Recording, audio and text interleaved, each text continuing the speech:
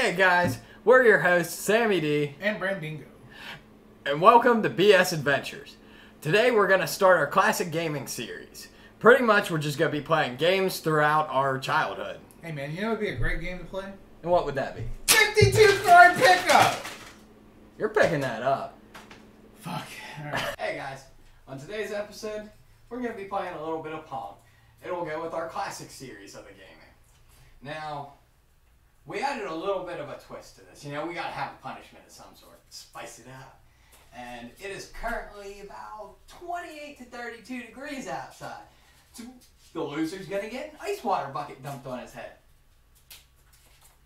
Alright. All right. Yep. See who goes first. Uh, okay, call it.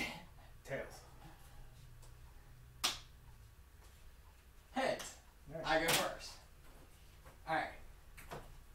We're going to play this a little differently than you normally would. We're going to use three balls.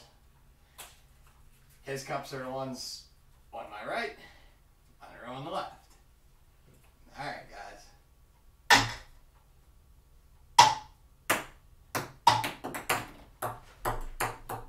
Woo! One cup for me.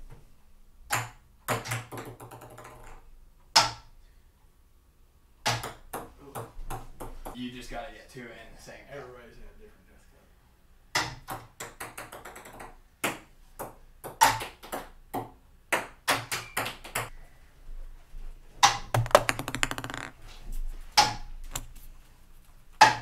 What do you consider your rules for death cup?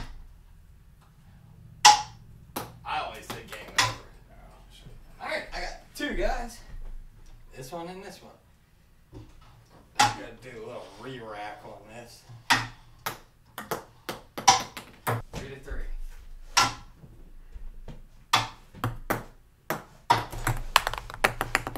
Alright, I'm just gonna end it right here. Okay, cocky. Damn it. Damn it, I'm gonna miss every one. Nah, I made one.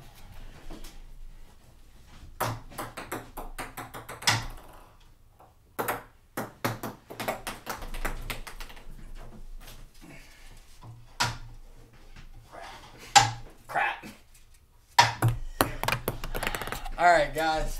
That inevitably is game.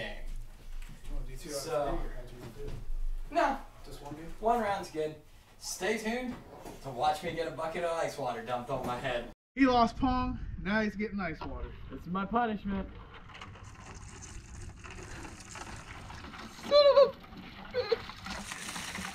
Oh.